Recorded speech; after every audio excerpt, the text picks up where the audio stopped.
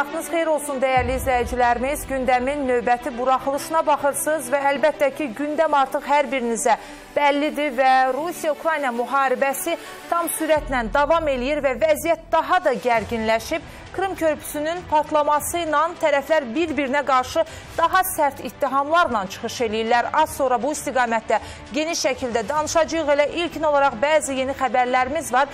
Həmin xəbərləri diqqətinizə çatdırırıq. Bəli, vurğuladığım kimi bugün səhər saatlarında Krım körpüsündə yanacaq çəni yanıb və nəticədə körpüdə yanğın başlayıb. Krım istiqamətində planlaşdırılan bütün qərarların, daha doğrusu qatarların hərəkəti və bilet satışı dayandırılıb. Körpünün oktyabrın sonuna qədər bağlandığı açıqlanıb və e, eləcə də vurğulanıb ki, e, Krım və Krasnodar arasında əlaqəni təmin etməkdən ötürü 4 yaxud 5 bərədən istifadə olunacaq. Bu arada körpüdə baş verən yanğın artıq söndürülüb. Prosesə 250 nəfər 70 texnika cəlb olunub. Rusiya Fövqəladə Hallar Nazirliyindən bildirilib ki, hazırda açıq yanma yoxdur. Digər məlumatı da diqqətinizə çatdırırıq. Elə vəziyyətlə əlaqədar olaraq Rusiya Prezidenti Vladimir Putin Dövlət Komissiyasının yaradılmasını tapşırıb. Eyni zamanda faktla bağlı cinayət işi də başlanılıb. Hadisənin baş vermə şəraiti və cinayətdə iştirak edən şəxslər müəyyənləşdirilir. Bununla yanaşı, Nəqliyyat Nazirliyi partlayış nəticəsində körpüyə dəymiş ziyanı, bərpa işlərinin həcmini qiymətləndirməyə başlayıb və bununla bağlı da məlumatlar dərc olunub.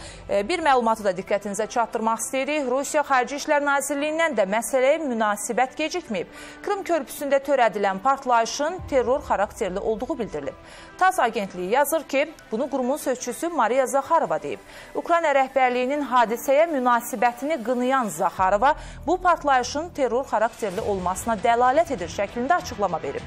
Görək daha hansı addımlar atılıb? Rusiyanın baş naziri Mikhail Muşistin də hadisəni araşdırmaq üçün hökumət komissiyasının yaradılması barədə fərman imzalayıb imzalayıb.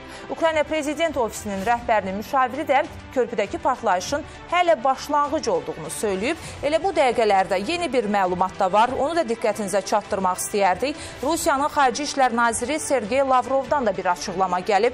Qeyd olunur ki, Rusiya bu il yanvarın 3-də nüvə silahına malik 5 dövlətin liderlərinin nüvə müharibəsinin yol verilməzliyini təsdiq edən bəyanatına sadiq qalır. Əlbəttə ki, bu açıqlamanın verilməsinin əsas səbəbi məhz körpünün partladığı yaradılmasından sonra Rusiyanın nüvə silahı istifadə edə biləcəyi ilə bağlı müxtəlif fikirlərin səsləndirilməsi idi. Çünki daha öncə də Rusiya bununla bağlı öz qırmızı xəttini açıqlamışdı. Qeyd eləmişdi ki, əgər Krım körpüsü partladılarsa, onda Rusiya nüvə silahından istifadə edə bilər. Az sonra biz bu istiqamətdə danışacağıq, ekspertlərin rəylərini öyrənəcəyik və Sergey Lavrovun açıqlamasına biraz detallı nəzər yetirək. Qeyd edib ki, ən yüksək səviyyədə təsdiq edilmiş bu sənədə uyğun olaraq nüvə silahına malik ölkələr arasında arasında hər hansı silahlı münaqişənin qarşısını almaq lazımdır. Rusiyanın müəyyən nəticələrlə üzləşəcəyi barədə səsküylü bəyanatlara gəldikdə isə bu cür təhdidli təbii ki, qəbul edilməzdir.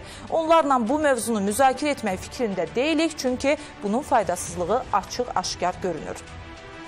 Digər bir məlumatı da diqqətinizə çatdıraq. Daha sonra isə qeyd elədiyim kimi bu istiqamətdə müzakirə aparacağıq və Rusiya prezidenti Vladimir Putin e, Ukraynalı həmkarı e, Volodimir Zelenski ilə görüşə bilər və bu istiqamətdə bildirilib ki, yəqin ki, görüş İndoneziyada reallaşacaq. Söhbət G20 samitindən gedir və G20 samitində iştirak edəcək liderlər hansı məsələləri müzakirə edəcəklər? Ümumiyyətlə, bu görüşün baş tutması nə qədər realdır? Bu istiqamətdə danışacaq. Söylədiyim məqamlara dair də ayrı-ayrılıqda təhlillər olacaq və studiyamızın qonağı var e, və Yeganə Hacıyeva ilə siyasi şərhçi ilə danışacaq. Hər vaxtınız xeyir olsun Yeganə xanım, xoş gördük sizi. Xoş gördük.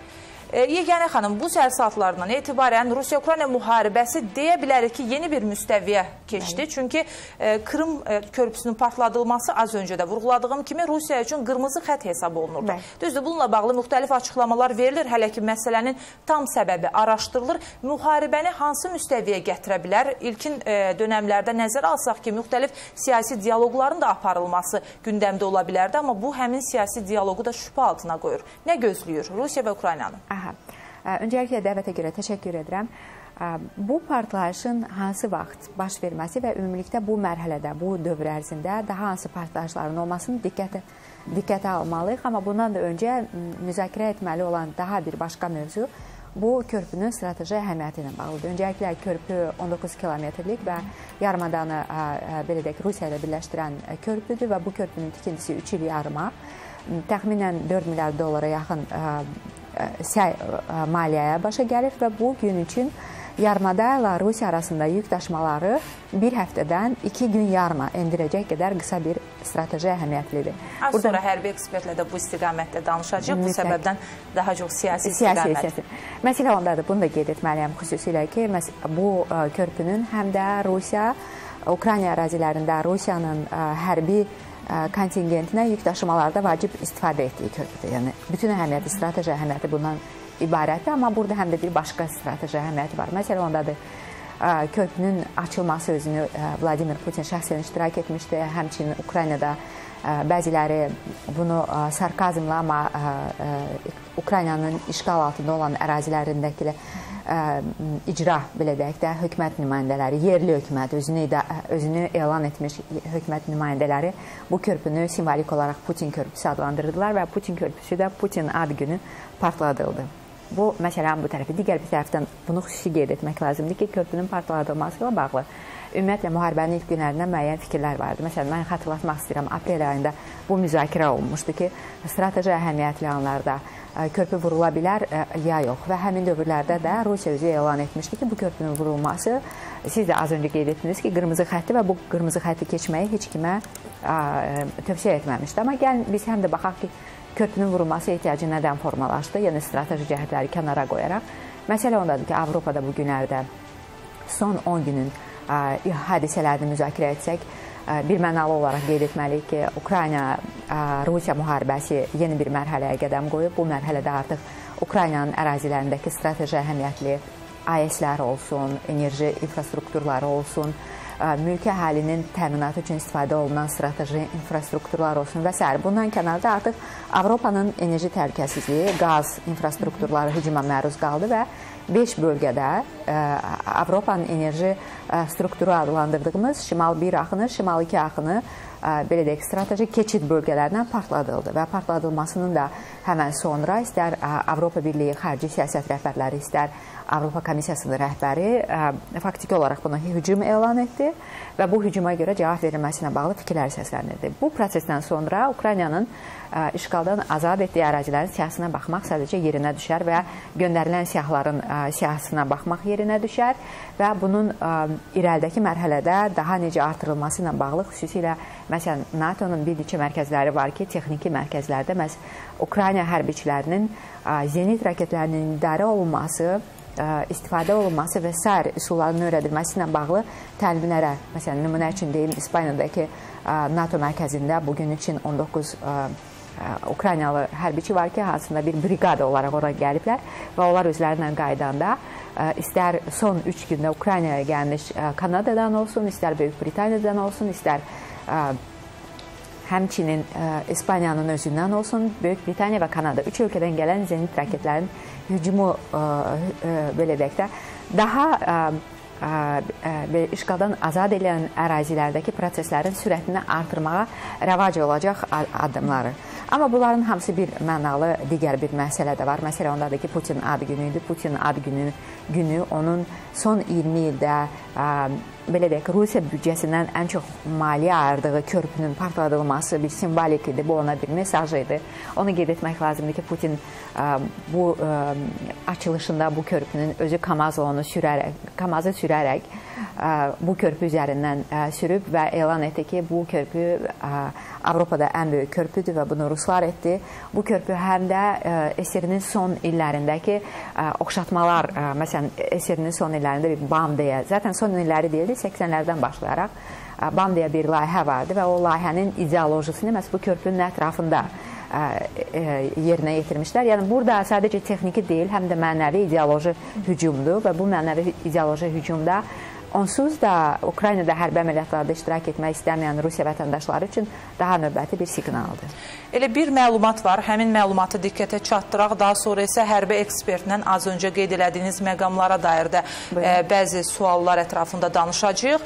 Kerç boğazında Qara və Azov dənizlərində gəmi tıxacı yaranıb və bu barədə RBK Ukrayna məlumat verir. Qeyd olunur ki, buna səbəb Krım körpüsündə baş vermiş partlayış və yanğındır. Məlumata görə gəmilərin əksəriyyəti Rusiyaya məxsusdur və onlar Krım yaxınlığında gözləyirlər. Və xatırladaq ki, bugün Krım körpüsü dağıdılıb və ətrafda olan ə, nəqliyyatın hərəkəti də məhdudlaşdırılıb, tamamilə daha doğrusu dayandırılıb. İstəyərdik ki, bu ətrafda hərbi ekspert Elxan Şıxaliyevlə də danışaq. Əslində nə baş verir və görünən ondan ibarətdir ki, vəziyyətlər daha da çıxılmaz ə, formaya gəlir və elə Elxan bəy də öz fikirlərini səsləndirəcək. Elxan bəy, hər vaxtınız xeyir olsun, salamlayırıq sizi. Hər vaxtınız xeyir. Elxan bəy, az öncə biz siyasi müstəvidə əslində tərəfləri nə gözləyir, müzakirə apardıq və Krım körpüsünün partladılması əslində Rusiya üçün qeyd elədiyimiz kimi qırmızı xətdir və bu qırmızı xət keçilibsə, e, indiki mərhələdə hansı senari gözləyir dünyanı? Daha təhlükəli vəziyyət ala bilərmi bu müharibə?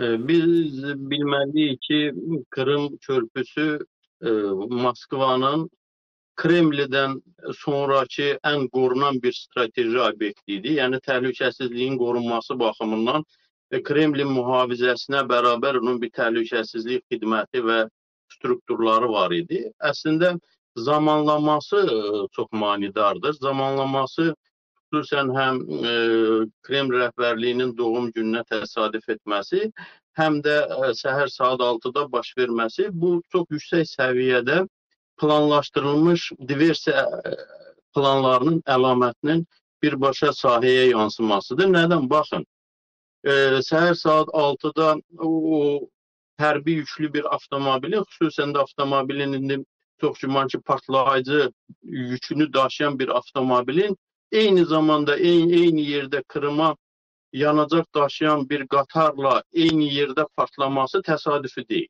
Təsadüfi deyilsə burada nə baş verir?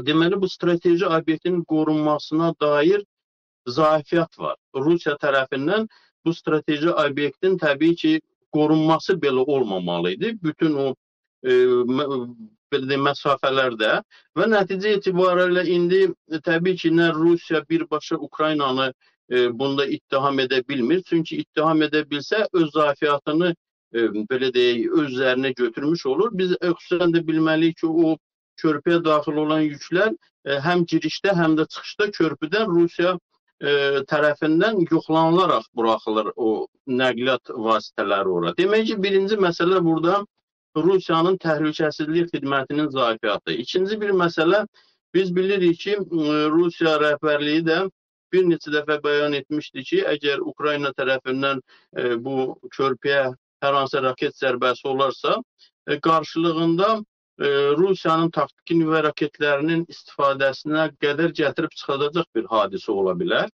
Bu səbəbdən də e, Ukrayna e, belə deyək, heç zaman birbaşa e, bu körpünü e, raket sistemləri ilə vurması olaraq bəyanatlar vermirdilər. Nəyə görə bilirdilər ki, bu e, Rusiya üçün qırmızı xətt həssas məqam sayılırdı. Nəticə etibarilə bunun qarşılığını sahəyə yansıdan bu planla icra etməsi Rusiya tərəfindən gözlənilməz oldu. Gözlənilməz olduğu deməkdir ki, yəni artıq ə, e, bu körpüyə verilən ziyan Rusiyanın gözlədiyi səviyyədə, yəni raket sistemləri ilə baş vermədi. Ona görə ki, də, e, Rusiyanın növbəti mərhələdə atacağı addımlar nə ola bilər? Bilirsiniz də indi taktiki nüvə silahının istifadəsinə dair Rusiya iki məsələni hər zaman qabardırdı. Birinci deyirdi ki, əgər Ukrayna silahlı qüvvələri tərəfindən birbaşa Rusiyanın ərazilərinə təhdid yaranarsa, yəni hər hansı bir raket sistemləri, artilleriya sistemləri Rusiyanın ərazilərini vurarsa, bu belə deyək, taktiki nüvə silahının istifadəsi üçün e, zəmin yaratmış ola bilər. Bir də həmin bu körpünün indi baxın bu e, Rusiya bəyanatının bu səsləndirdiyi bəyanatlardan sonrakı bütün mərhələlərdə Rusiya üçün müharibənin artıq 2226-cı günü e, o e, belə deyək bölgələri Rusiya öz ərazilərinə qatdığı Donetsk, Lugansk, Xerson, Zaporojye Krımda əvvəl var idi. Demək ki, Rusiya düş deyirdi ki, ərazilərimizə müharibə keçsə, bu taktiki nüvə silahını istifadə. Artıq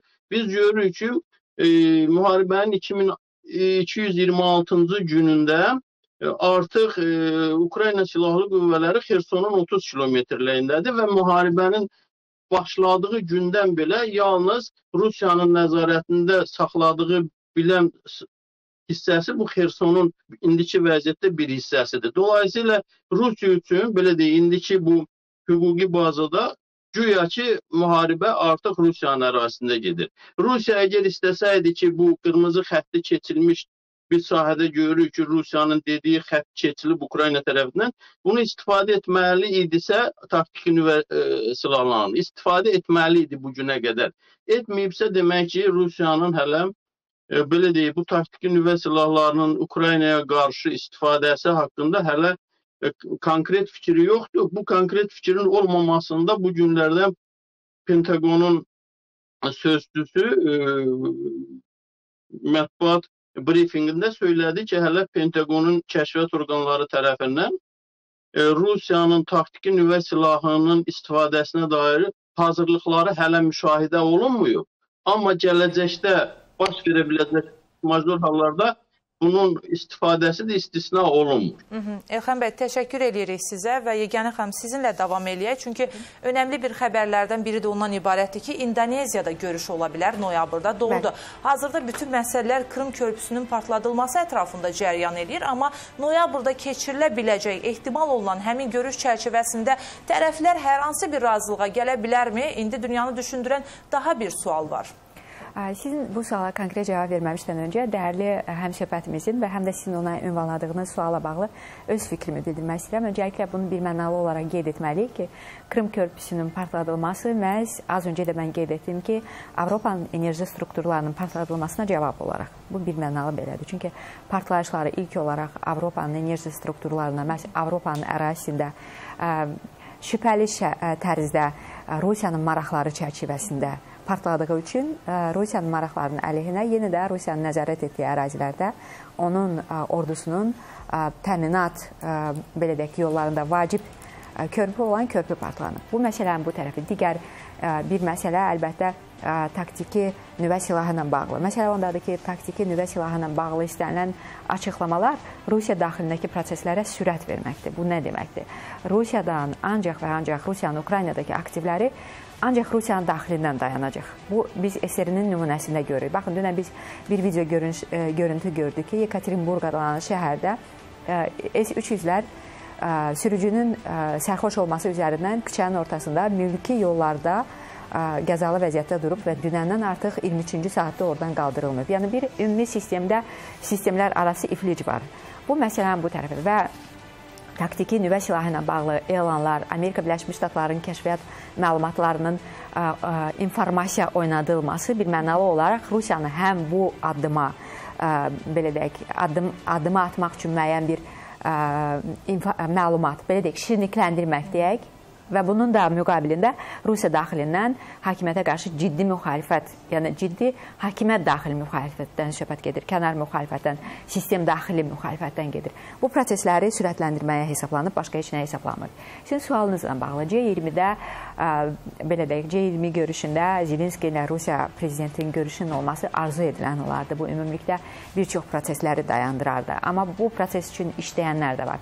Məsələn, sırf bu günlərdə Praqada keçirilən görülüşdən sonra istər belə deyək, Türkiyə prezidentinin Rusiya ilə təmasları, Rusiya prezidentinə zəng olması Ərdoğanın və yaxud da Azərbaycan prezidentinin və yaxud da bu dövrlər üçün Putinin dinləyə biləcək dairələrin təmasları onu göstərir ki, bu danışıqlar üçün zəminlər hazırlanır və bu zəminlər də vacib zəminlərdir. Nə qədər Rusiya və Putin bunun üzərindən belə deyək də, Baxın, niyə bu gün Putin ə, rusların bir sözü var, svaraçivać. Yəni hər şeyi geri döndərə bilmir. Ona görə ki, ən azından daxildə bunu özünə qarşı necə güclü istifadə olunacağından axırıncı kozularını oynayır. Və o yüzden bu addımın hər nə qədər də Putin və onun hakimiyyəti üçün onun adının ətrafında formalaşan, formalaşan demək möhkəmlənən ə, bu ə, qrup üçün, yəni hakimiyyət daxili qrup. Çünki son proseslər göstərir ki, Rusiya daxilində post-Putin hakimiyyət daxilində post-Putin erasına ciddi hazırlıqlar var, orada qruplaşmalar var və s. Bunlar üçün çox çətin qərar verəcək. Amma noyabrda bu görüş ola bilərmi? Mən fikirləşirəm, ola bilər və bu çox faydalı görüş olar. E, bir məsələ ətrafında da istəyərdim ki, Elxan bəylə davam edək. Vaxtımız düzdür, çox azdır, amma bir açıqlama gəldi Ukrayna Daxili İşlər Nazirliyindən və vurğulanır ki, Krım körpüsünün dağıdılması Rusiyadan əslində yarımadaya lazım olan bütün silahların e, çatdırılmasını çətinləşdirəcək və elə biz Elxan bəyə bu istiqamətdə sual vermək istəyərdik ki, əgər silahların daşınması çətinləşəcəksə, o zaman vəziyyət hansı müstəviyə gələcək? Elxan bəy, 1-2 dəqiqə zamanımız var. Biz deyəndə ki, Rusiya üçün bu strateji əhəmiyyətli nəqliyyat vasitəsidir.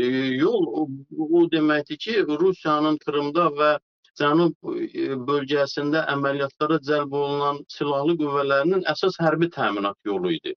E, biz də bilirik ki, ümumiyyətlə bu Cənub qruplaşmasında Krımdakı o avia bazalarının təminatını, ümumiyyətlə hərbiçilərin təminatını Rusiya vaxtlı vaxtında təmin etmək üçün alternativ yolu bərə daşınmasıdır. Amma bərə daşınması həm mülki infrastrukturu dəstəkləmək üçün, həm, həm hə, əməliyyatları dəstəkləmək üçün yetərli olmayacaq. Xüsusən də önümüz qışa doğru gedir. Qış zamanında da bərə sistemləri adətən çox zaman işləməyəcək. Ona görə də çox böyük problemlərlə üzləşəcək Rusiya cənub istiqamətində, xüsusən Krımda və e, Xerson istiqamətində gedən əməliyyatlarda bölməsinin bölmələrini ə, e, dəstəkləmə baxımından dəstəkləyə bilməyəcəksə nə baş verəcəksə, demək ki, növbəti mərhələdə Ukrayna silahlı qüvvələrinin artıq Xerson, Donetsk, Lugansk və Krım üzərindən də ə, e, əraziləri nəzarətə götürüb nəzarətə götürəcəyini gətirib çıxaracaq əməliyyatlara çevriləcək. Təşəkkürümüzü bildiririk. Minnətdarıq sizə İlxan bəy fikirlərinizi bizimlə bölüşdüyünüz üçün və Yeganə xanım 2 e, dəqiqədə zamanınız sizin Buyurun. üçün qalıb təxminən və nəzərə alsaq ki, açıqlama verilib. Böyük Britaniya hökumət rəsmilərindən bir açıqlama var. Times nəşri yazır ki, Milad bayramına qədər Ukrayna bu sürətlə davam edərsə, əslində müharibəni bitirə bilər. Bundan sonraki mərhələdə nəzərə alsaq ki, xüsusilə də Beynəlxalq Valyuta Fondu da kifayət qədər məbləğ ayırıb Ukrayna üçün. Vəziyyət necə ola bilər? Siyasi müstəvidə e, Vladimir Putin necə necə qərarlar verə bilər? Əgər Milad bayramına kimi Vladimir Putin Rusiya prezidenti olaraq qalsa, vəziyyət daha çətin olacaq. Amma e, Rusiya daxili proseslər və az öncə də qeyd etdiyimiz bu qruplaşmalardakı, yəni Rusiya hakimiyyət daxili qruplardakı bu aktivlər ə, e, Ukraynadakı Ukrayna ordularını ya işğal altında olan ərazilərdə irəliləməklə paralel artacaq bu proseslər və nəticə etibarilə proseslər yenə də Rusiyanın içindən dəyişəcək. Yəni bunu tək biz ə, analitiklər deyil, bunu həm də ə, ciddi bu prosesi izləyənlər başlayır. Amma sonra nə baş verəcək? Öncəliklə çox vacib bir məqamdır. Rusiya ə, Avropanın təhlükəsizliyində vacib elementdir hər nə qədər də e, bu qəbul olunub olunmasa da və Avropanın təhlükəsizliyi Rusiyasız qurmaq mümkün deyil. Xüsusilə şərqdən gələn, yaxın şərqdən gələn e, belə deyək, təhlükələr fonunda Avropanın e, belə deyək, müdafiəçilərindən biri Rusiyadır və Rusiya bütöv şəkildə vacibdir, lazımdır. Təşəkkürümüzü bildiririk. Minnətdarıq sizə studiyamıza gəldiyiniz üçün və dəyərli izləyicilərimiz bir məlumatı da diqqətinizə çatdıraq ki, Beynəlxalq Valyuta Fondu da Ukraynaya maliyyə yardımı göstərmək üçün 1,3 milyard dollar ayırır. Müharibənin gedişatı necə olacaq hələ ki bəlli deyil, amma Krım körpüsünün partladılması müharibəni yeni bir müstəviyə gətirəcək. Ekspertlərin rəyi bundan ibarətdir. Gün ərzində Ayr 24-də bu istiqamətdə müxtəlif şərhlər, xəbərlər əldə etmək şansınız olacaq. Odur ki, gözünüz bizdə olsun. Biz sizinlə hələlik sağollaşırıq özünüzə. Yaxşı baxın. Hələlik.